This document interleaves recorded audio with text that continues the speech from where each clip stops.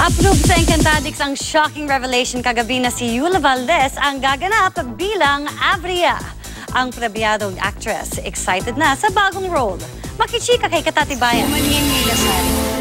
Mula kina Sunshine Dizon bilang Adhara, si Diana Zubiri bilang si Lila Sari, at si Alfred Vargas bilang si Amaro. Talagang inaabangan ng mga Encantadix hindi lang ang mga nagbabalik Encantadia, kundi pati ang mga bagong magsisiganap sa mga orihinal na tauhan. Sunod na rito si Avria, ang maganda, matapang at malupit na sinaunang reyna ng Etheria. Kagabi ipinakilala na kung sino ang gaganap sa kanya. Walang iba kundi ang premyado aktresa si Yula Valdez.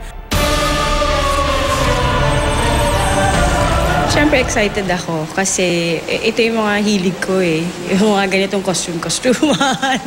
yung mga may makakapal na hair, na kulot, ganyan. Anong, ano sa akin, excited ako pag mga ganito yung mga roles. Ayon kay Direk Mark Reyes, tanging si Yula lang daw at wala ng iba pang artista ang nararapat at pinaka-fit na gumanap bilang Avria.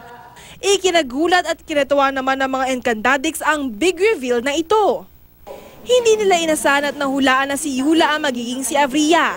Gayunpaman, approve sa kanila at may kumpiyansa sila sa galing sa pagganap na madadala ni Yula sa role bilang si Avria.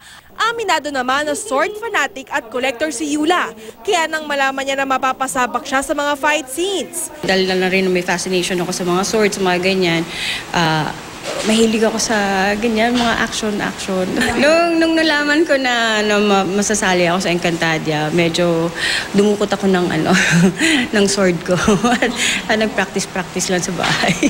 Si Avria na ba ang pinakamatinding katunggali ng mga diwata? Basta, abangan na lang nila. Abangan na lang nila ang kung anong lagim ang ni Avria sa Encantadia. Katatibayan, updated sa Showbiz Happenings.